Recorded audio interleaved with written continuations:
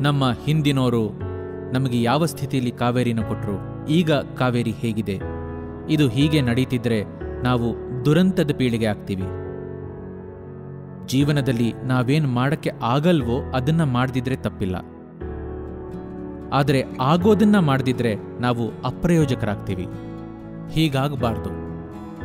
ಕಾವೇರಿಗಾಗಿ ನಮ್ಮ ಪ್ಲಾನ್ ಏನು ಅಂದ್ರೆ ಹನ್ನೆರಡು ವರ್ಷದಲ್ಲಿ ಈ ಕೆಲಸ ಮುಗಿಸ್ಬೇಕು. ನನ್ನ ಈ ವಯಸ್ಸಿನಲ್ಲಿ ಹನ್ನೆರಡು ವರ್ಷದ ಪ್ಲಾನ್ ತಗೊಳ್ಳೋದು ಒಳ್ಳೇದಲ್ಲ. ಆದರೆ ತಗೊಂಡಾಯಿತು. ಅದನ್ನು ಇಪ್ಪತ್ತು ವರ್ಷಕ್ಕೆ ಕೇಳಿಬೇಡಿ.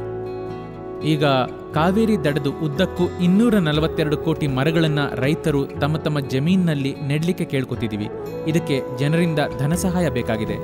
ಒಂದು ಸಸಿಗೆ ನಲವತ್ತೆರಡು ರೂಪಾಯಿಯಂತೆ ಹಣ ಕೊಟ್ಟು ಸಹಕರಿಸಿ ಅಂತ ಜನರಲ್ಲಿ ನಮ್ಮ ಮನವಿ.